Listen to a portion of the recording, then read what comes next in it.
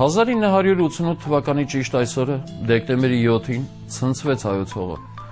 Ուժգին երկրաշարժը հողին հավասարեցրեց գյուղեր, քանդեց, ավիրեց կանգուն քաղաքներ։ Ավերակներ, զոհեր, ողբ, հազարավոր անտուն, անօթևան մարդիկ, խուճապ, անորոշություն։ Այսօր տարիներ անցել չսպիացած վերքը զգացնել է տալիս։ Աղետի գոտի արտահայտությունը դեռ կիրառվում է։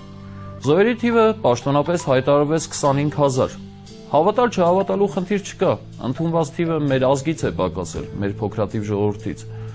Զարուրելի իրողություն, որ զուգադիպեց 88-ի խառնակորերին, երբ Բարսակետին էր հասել Լեռնային Ղարաբաղի հիմնախնդիրը։ Մոսկվան խուսափում էր ոչ միայն Ղարաբաղի, այլև որևէ հիմնարարցի արմատական լուծումից, վարելով երկդիմի խուսափողական քաղաքականություն։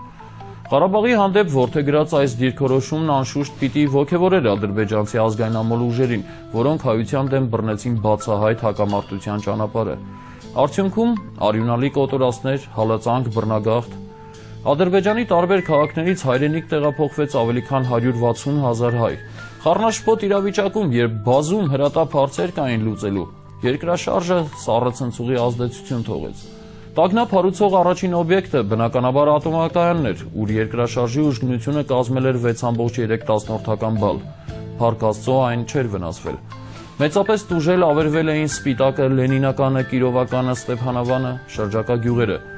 Երևանում երկրաշարժն անշուշտ զգալի էր, բայց էպիկենտրոնի մասին կապ չլինելու պատճառով ուշ իմացվեց։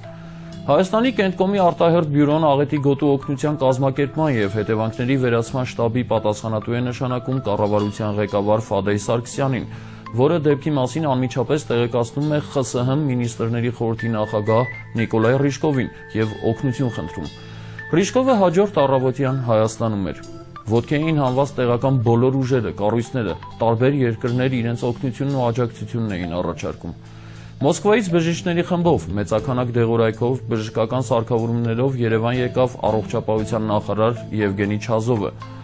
Սպիտակ լենինական, սպիտակ կիրովական տանող ճանապարհները գերխցանված էին։ Անկախ նրանից, ունեն ծանոթ բարեկամ թե ոչ, ով հնարավորություն ուներ ճանապարհվում մեր աղետի գոտի։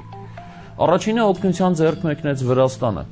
Երեկոյան հերոստա ռադիո հաղորդումները թեև կծկտուր, բայց տեղեկատվություն էին հայտնում կատարվածի մասին ցուցադրվող քանդված դպրոցներն ու մանկապարտեզները, ինստիտուտներն ու բնակելիները, որոնց փլատակներից դեռ լսվում էին մարդկանց օգնության կանչող ձայները, ցնցող էին, սահմռկեցուցիչ։ Լենինականի օթանավակայանի թռիչքային գոտին, որ գրեթե անօգտագործելի տարածքի էր վերածվել, մի օրում վերանորոգվեց ու սկսեց ինքնաթիռներ ընդունել։ Հանվեցին բոլոր սահմանափակումները այլ երկրներից եկած օթանավերի համար։ Գալիս էին տարբեր ազգերի բժիշկներ, փրկարարներ, սեյսմոլոգներ, երկրաբաններ, այլ մասնագետներ։ Հայաստանը կարծես դարձել էր աշխարհի էպիկենտրոնը։ Գալիս էին նույնիսկ աշխարհի ամենահարուստ մարդիկ, օրինակ Արմանդ Համմերը, որը Ֆադեյ Սարգսյանին հանձնեց 1 միլիոն դոլարի չեկ, նույնչափ գումար տրամադրեց նաև միջին արևելքի ժամանած մեկ այլ մեծահարուստ, ում անունն անհայտ է։ Գերմանացի մի գործարար փայտե տնակներ կառուցող մի գործարան նվիրեց։ Թե որքան օգնություն հակոստի, դեղորայքի, բժշկական սարքավորումների, սննդամթերքի, դրամի տեսքով մտավ Հայաստան, դժվար է ասել։ Փաստորեն բաց էին սահմանները բոլոր պետությունների համար, նույնիսկ Իսրայելի, այն դեպքում, երբ Խորհրդային Միությունը դիվանագիտական հարաբերություններ չուներ այդ երկրի հետ։ Գնացները Հայաստան էին մտնում առանց արգելքների, առանց գրաֆիկի, որը կարգավորողն ու պատասխանատուն Համբարձում Ղանդիլյանն էր։ Երեք օրով հանվել էր նույնիսկ պարետային ժամը, որը սկսել գործեց դեկտեմբերի 11-ից։ Կոնկրետ փաստեր կան, որ աղետի գոտուց մայրաքաղաք վերադարձող մարդիկ կալանվում ու մինչև լույս պահվում էին պարետատանը։ Երկրի ղեկավար Միխայել Գորբաչովը, որ պաշտոնական այցով գտնվում էր Միացյալ Նահանգներում, հարկադրված դադարեցրեց այցը եւ տիկնոջ հետ այցելեց Հայաստան։ Իհարկե, ամենուր չէ, որ նրանց հավուր պատշաճի, նույնիսկ որոշ տեղերում անհարգալից արտահայտություններով ընդունեցին։ Այսուհանդերձ այս ամենը որակվում է իբրև միջազգային նշանակության փաստ։ Գորբաչովը հակիրճ խոսքում ասաց, որ ընդամենը 10 տարում աղետի գոտին կվերածվի ծաղկանոցի։ Մի քանի օրից Մոսկվայից երկու տարվա աշխատանքները կազմակերպելու համար փոխանցվեց 13 միլիարդ ռուբլի։ Եվ իրոք տարբեր հանրապետությունների ժամանակ շինարարները մի քանի օր անց սկսեցին դպրոցներ ու ավաններ կառուցել։ Սակայն